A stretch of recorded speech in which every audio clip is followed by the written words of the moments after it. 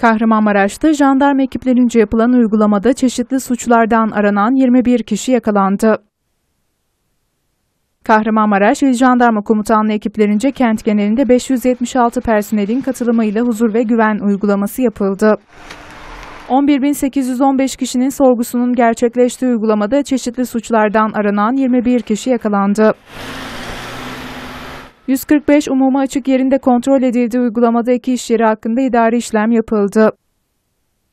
Kontrol edilen 2537 araçtan 38'inin sürücüsüne 15.717 lira para cezası uygulandı. 16 araçta trafikten men edildi. Uygulamada bir miktarda uyuşturucu madde ele geçirildi.